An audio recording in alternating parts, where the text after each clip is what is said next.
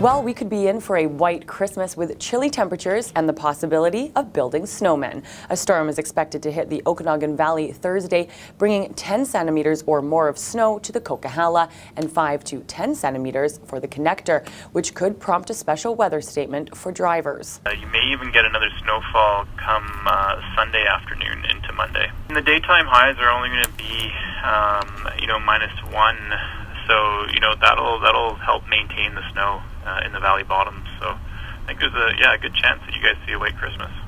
In the coming weeks, we can expect below seasonal temperatures of minus one or minus two during the day and flurries. As for the highways, both the Coquihalla and the connector have already seen a good dump of snow this season. But with more on the way, drivers are asked to check Drive BC before heading out on the roads. For Castanet News, I'm Jen Zielinski.